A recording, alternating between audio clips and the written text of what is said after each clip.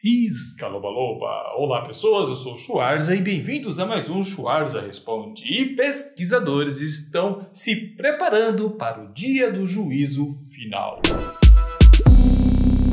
E uma equipe de pesquisadores da Universidade do Arizona fez uma proposta ousada para preservar a vida na Terra em caso de crise global, criar um repositório de vida. Não apenas a humanidade, mas a vida animal, vegetal, e isso tudo longe dos riscos que o nosso planeta enfrenta, sejam naturais ou devidos à atividade humana. A proposta pode soar como algo saído de uma história de ficção científica, mas é bem realista. A equipe é ver como uma apólice de seguros global moderna, contra desastres que podem ocorrer à civilização terrestre, e o local onde as amostras criogenicamente congeladas de esperma, óvulos, esporos e sementes de 6,7 milhões de espécies podem ser protegidas com a segurança da Lua. Podemos chamar isso de arca lunar? Aí eu fico imaginando aqui que um dia a Terra explode, vai tudo para os ares e a gente tem um backup lá na Lua.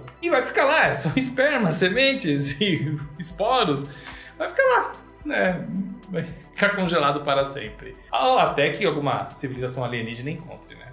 A Lua pode não ser um local muito acessível, mas tem lá as suas vantagens, pois ela não estaria no cenário do dia do juízo final, que pode ter acontecido aqui no nosso planeta. Em particular, os tubos de lava da Lua e os poços lunares podem ser lugares ideais para construir uma Arca de Noé moderna, semelhantes em conceito ao famoso cofre de sementes do dia do juízo final de Svalbard, mas em um lugar onde a crise climática não pode atingir os espécimes. Lá na Lua não tem nem clima, quanto mais crise climática, não tem nada na Lua. Aliás, quando eu era criança, eu sempre ouvia falar que São Jorge morava na Lua. Então, na primeira vez que eu peguei um binóculo, fui olhar para a Lua e fiquei uma hora procurando São Jorge cavalgando lá em solo lunar. Eu fiquei tanto tempo olhando que a lua ficou gravada na minha retina. Para onde eu olhava depois eu via a lua, que nem um maluco. Existem centenas de tubos de lava sob a superfície da lua. Graças às rochas logo acima, eles são protegidos da radiação e dos micrometeoritos, e a temperatura extremamente baixa do subsolo seria um recurso para armazenar as amostras. Fornecer energia a uma instalação desse tipo também está dentro das capacidades atuais,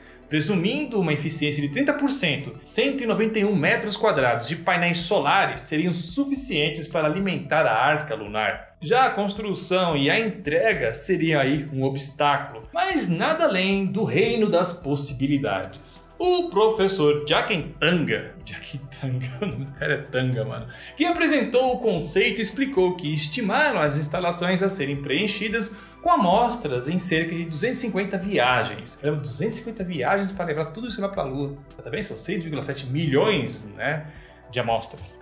Para efeito de comparação, a construção da Estação Espacial Internacional, que é obviamente muito mais próxima da Terra, levou aí 40 voos. E agora falando assim, parece que foram poucos voos, porque se for levar em consideração o tamanho da estação espacial em diâmetro, que é o tamanho de um campo de futebol, 40 voos me parece um pouco. Por isso que eu digo que os astronautas foram muito eficientes na construção desse aparato espacial no espaço. Existem outros obstáculos a serem superados, alguns dos quais com soluções potencialmente fantásticas. As condições de frio e quase vácuo dos tubos de lava da Lua podem afetar os metais empregados nessas instalações de várias maneiras. Eles podem congelar, emperrar e até mesmo soldar-se a frio. Mas a equipe tem uma solução criativa: empregar supercondutores. Os supercondutores exibem propriedades incríveis, como permitir o fluxo de eletricidade sem resistência. Eles também podem prender as coisas no lugar graças a um fenômeno conhecido como levitação quântica. Levitação quântica é um termo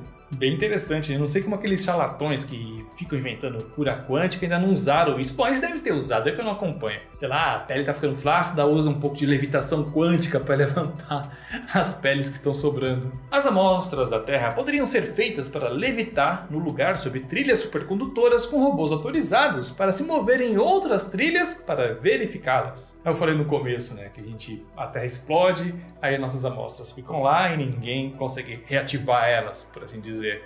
Não, vai ter robô, vai ter robô lá que vai poder ligar ali, né? dar continuidade ao projeto e os seres humanos vão surgir na Lua dominada por robôs. Embora esse ambicioso projeto possa não estar pronto para ser implantado ainda, a equipe também propôs maneiras de estudar os tubos de lava da Lua em preparação. Graças a robôs voadores e saltitantes chamados Spherex, robôs voadores saltitantes. Parecem robôs super felizes, né? Esses tubos de lava podem não apenas abrigar espécimes terrestres, mas também ser ideais para a presença permanente de humanos na Lua. O que me surpreende em projetos como este é que eles me fazem sentir que estamos nos aproximando de nos tornarmos uma civilização espacial e de um futuro não muito distante, onde a humanidade terá base na Lua e em Marte. Quem disse isso foi Álvaro Dias Flores Camineiro, um aluno de doutorado da Universidade do Arizona que lidera a análise térmica do projeto. E aí, o que vocês acham aí desse projeto visando aí o juízo final, né? Um dia que a Terra se exploda e, enfim, a gente tem um backup lá na Lua.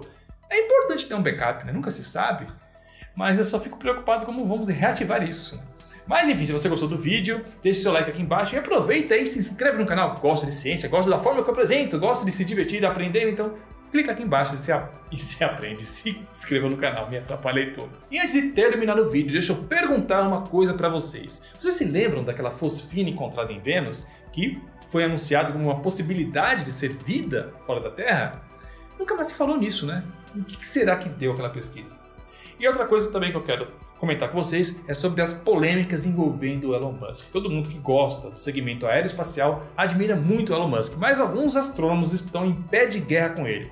Você quer saber sobre esses assuntos, quer ficar inteirado ou inteirado sobre isso, então clica no link que está aqui embaixo na descrição que eu garanto para vocês que vocês não se arrependerão. E lembrando que o meu livro Eita, quase cai no chão.